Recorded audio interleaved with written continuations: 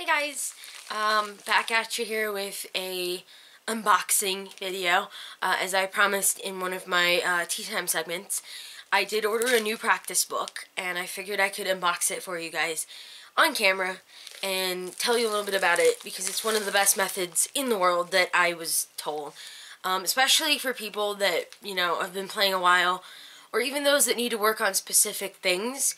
This uh, particular item uh, has six different books in it that help with different techniques and strategies and practicals and practices that you can do on a flute. So without further ado, da, da, da, da, Trevor Wye. Okay, so Mr. Trevor Wye came out with a book, a method. It is published by Hal Leonard, um, which is why it looks like something really nice. Okay, and it's all six books in his practice book series. Okay, so book one is tone, book two is technique, book three is articulation, book four is intonation and vibrato, book five is breathing and scales, and book six is advanced practice. Now, of course, I'll probably end up in book six a lot, but let's show you a sneak peek into what each book looks like. So for tone, exercises, it mostly describes how everything harmonizes. And this is the first few pages of that section. It shows you a measure of music and an explanation as to what you're seeing and what you're supposed to be hearing. So you can compare that for tone. Alright, and let's turn to the next section. Let's see here. 49.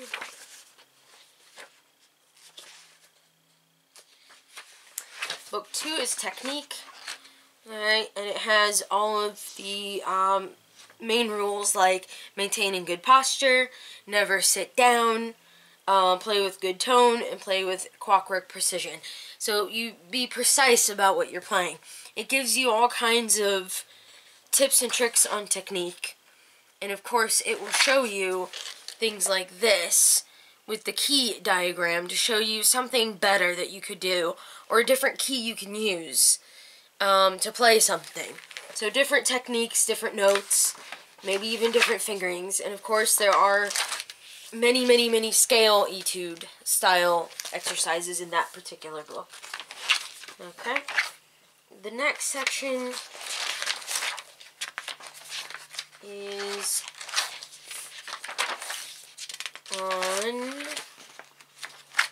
page three, book three. Here we go, articulations. There's slur, single tonguing, double tonguing, triple tonguing. The E flat problem. I plan on reading up a bunch of this stuff because I'm curious. There's obviously, I mean, I've been playing for 16 years, but there's got to be something new I could learn about my craft. So I figured I'd order this here book as a late present to myself. Um, yeah, this is a really good one, actually. The E-flat problem. It says E-flat and other notes in the right hand.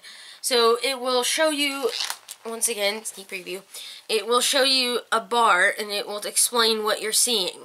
Now, E-flat definitely has a, a way of cracking or it's harder to press down all the keys and, and jump between, say, an E-flat and an open note that has maybe one finger down like a B-flat. So it's, it's hard to jump from those notes. So you're able to practice that and do exercises to um, change, for example, between E flat and D, and um, change between C and E flat. And that way you can get used to opening and closing keys and articulating the notes correctly, even though they're different fingerings and one's open, one is a closed fingering. And it just, it shows you that, which is what I really love. Book four is intonation and vibrato. Of course, we know what vibrato is. It's that ha, like shaking at the end or quivering at the end of a note to give it that that fullness. So there's that. Um, there's also scale equivalent pieces and parts and things. Different tones. There's trios for two flutes, flute scales, perfect pitches and tunings, and it shows you all of that. Um, let's see what else we got.